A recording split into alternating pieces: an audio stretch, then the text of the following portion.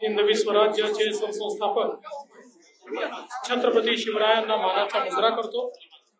भारतीय राज्यघटनेचे शिल्पकार भारतरत्न डॉक्टर बाबासाहेब आंबेडकर यांना मानवंदना अर्पित करतो.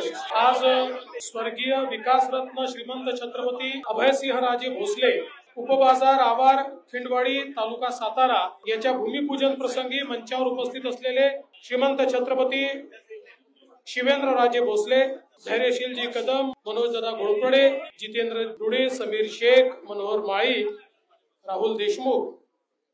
त्याचप्रमाणे सीओ याशनी आपले या बाजार समितीचे सभापती विक्रम पवारजी मधुकर पवारजी हनुमंत मोरेजी माजी सभापती आणि मंचावरील उपस्थित सर्व मान्यवर उपस्थित सर्व शेतकरी व्यापारी भगिनी आणि बंधूंनो आज ही खूप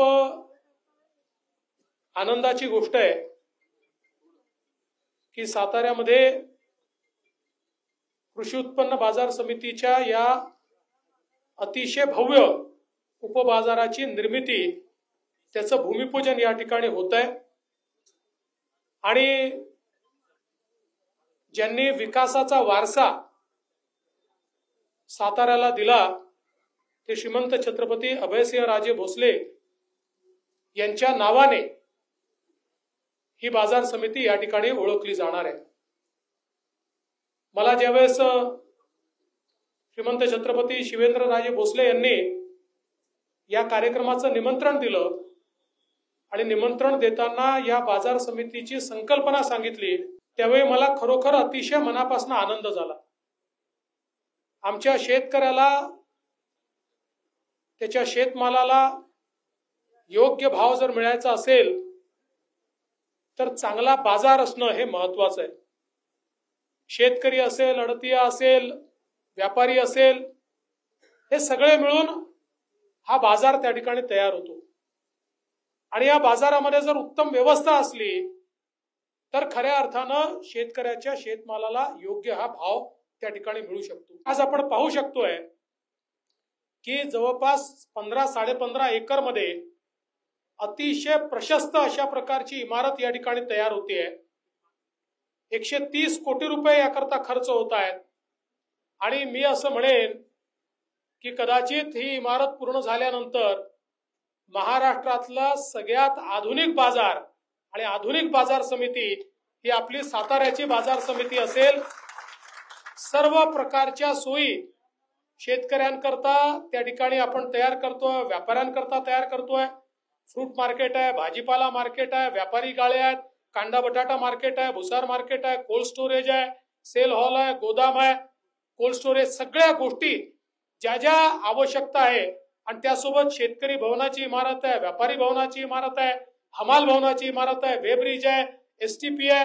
ज्या ज्या गोष्टी आधुनिकतम अशा प्रकारच्या इमारतीच असू शकतात अशा सगळ्या इमारती या इमारतीमध्ये त्या ठिकाणी घेण्यात आल्या. आपला सातारा जिल्हा हा शूरवीरांचा जिल्हा तर आहेच पण हा शेतकऱ्यांचा जिल्हा देखील आहे. इथला शेतकरी अतिशय कष्टकरी अशा प्रकारचा आहे. आपल्या कष्टानं या ठिकाणी तो फळभाज्यांपासनं तर वेगवेगळ्या प्रकारची पिकं घेतो आणि केवळ स्वतःपुरतं नाही तर मोठ्या प्रमाणात ही पिकं आपल्या महाराष्ट्रात देखील वेगवेगळ्या ठिकाणी किंवा महाराष्ट्राच्या बाहेर देखील त्या ठिकाणी गेलेली आपल्याला पाहायला मिळतात. फळांचं एक खूप मोठं मार्केट हे आपल्याला साताऱ्यामध्ये या ठिकाणी पाहायला मिळतं. आणि म्हणून अशा सगळ्या गोष्टींकरता जर एक उत्तम मार्केट मिळालं तर शेतकऱ्यांना दोन पैसे जास्त मिळतात त्याला चांगली सोय मिळते त्याला हक्काची सोय मिळते. मी शिवेंद्र बाबा आपलं मनापासून अभिनंदन करेन की अतिशय चांगली संकल्पना या ठिकाणी आपण मांडली. आणि आपल्या मार्केट कमिटीचे हे जे सगळे माजी सभापती आणि आजी सभापती आहेत या सगळ्यांनी मिळून जी काही मेहनत याकरता केली आहे त्याबद्दल त्यांचे मनापासून अभिनंदन करतो त्यांचा आभार मानतो.